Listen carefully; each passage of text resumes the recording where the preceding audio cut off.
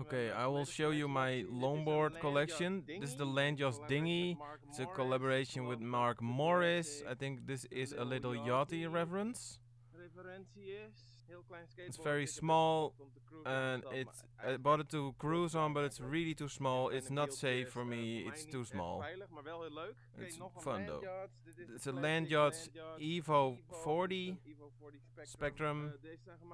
Uh, these are made for downhill, uh, but they'll, they're also used for LDP, which means long distance pumping or pushing, whatever. You've got some fat dad bods on them. Back, uh, it's very good longboard.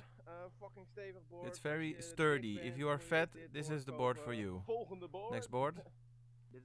This is a Rolls Royce Sportster. It's fiberglass. I don't know. It's very light. Uh, they say it holds like 3000 kilograms. This one's pretty beat up. Very nice red skateboard, but it makes a lot of noise. It's like kind of like you know. This one uh, is retired because uh, it, I hit too many curbs. So it's not because I'm fat. It's just an old board and it's very low. Bit of a basic bitch board. This is the Arbor Flagship 40. Uh, you know, it's sturdy, uh, it's a drop through. I don't know. Um, pretty good board. It's a bit boring. It's a beginner's board.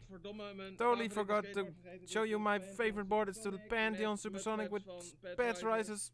En uh, dikke Hoku. Mud flaps and Hoku wheels. Is fucking stevig. This one is really sturdy. It's my uh, favorite board. Zelfde setup It's qua like the Evo, but beetje. it's for LDP Eh, deze specifically. gebruik ik het meest. I use this one the heel most. It's very reliable. This is the Pantheon Pranayama. I've got two of these. Long story, but uh, this one started delaminating. So Jeff from Pantheon Longboards, he gave me this one, including some extra wheels, which I'm really happy with. And I got these stylish trucks too.